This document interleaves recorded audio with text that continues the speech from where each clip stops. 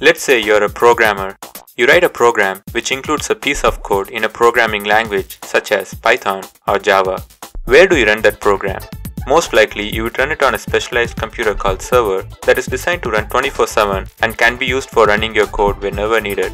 Broadly speaking, the three most popular models of servers right now are traditional servers or on-premise servers, cloud servers and serverless computing. In a previous video, we discussed about cloud servers. Check out the link in the description if you haven't watched it already.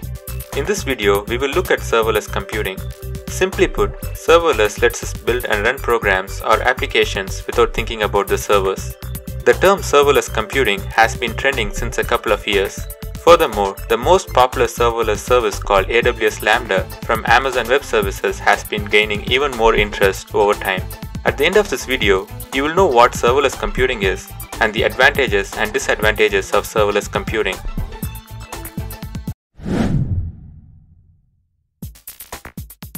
Before looking into what serverless computing is, let's look into different models of servers with analogies to cars. The three popular models of servers, traditional servers, cloud servers and serverless computing are analogous to own car, rental car and taxi cab respectively. With own car, you make an initial investment to buy the car. Once you own the car, you are responsible for maintaining the car, having insurance and fueling the car.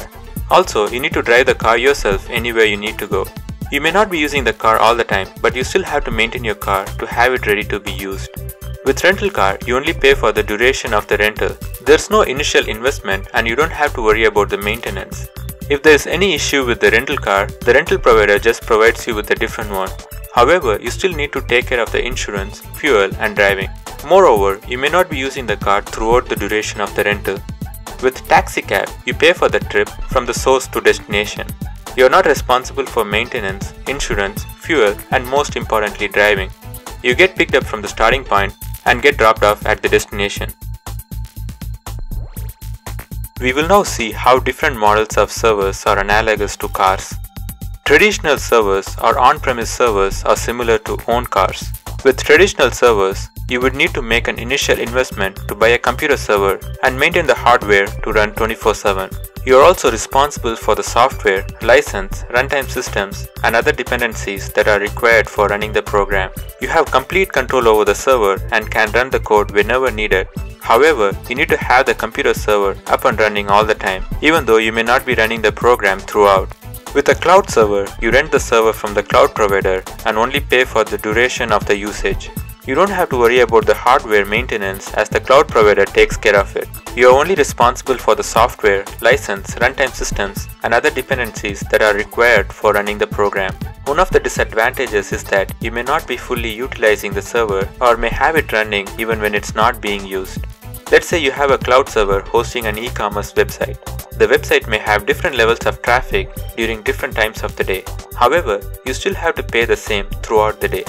Serverless computing is similar to taxi cab. With serverless computing, you can provide the piece of code to the cloud provider and they take care of running the code.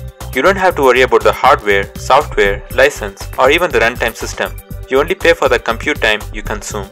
You can focus on just the code and the cloud provider takes care of the execution.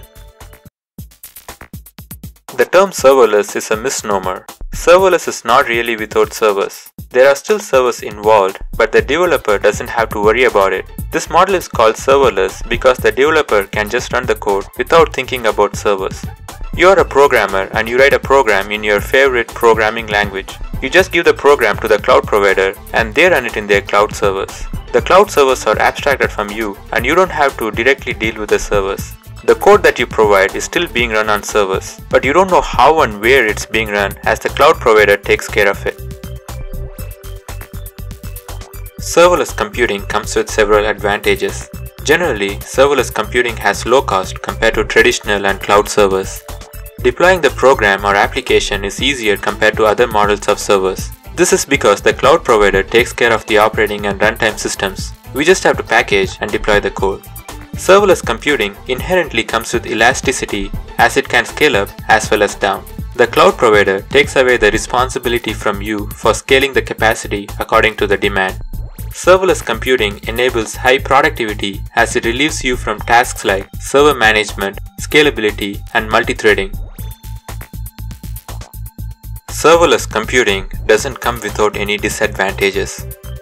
Debugging or diagnosing performance of the programs may be comparatively more difficult than with traditional servers. We have less control with serverless environments compared to traditional servers as we don't have access to the operating system and other software. Programs running in a serverless environment are by default locked to the specific cloud vendor. It's usually an involved process to migrate the program from one serverless computing service to another. There are some privacy implications such as shared resources that need to be considered because many serverless environments are based on proprietary public cloud environments. Use cases of serverless computing are associated with on-demand functionality that enables the supporting infrastructure to be powered down and not incur charges when not in use. Some of the use cases of serverless computing include data processing, backend for web applications, event streaming, and Internet of Things services.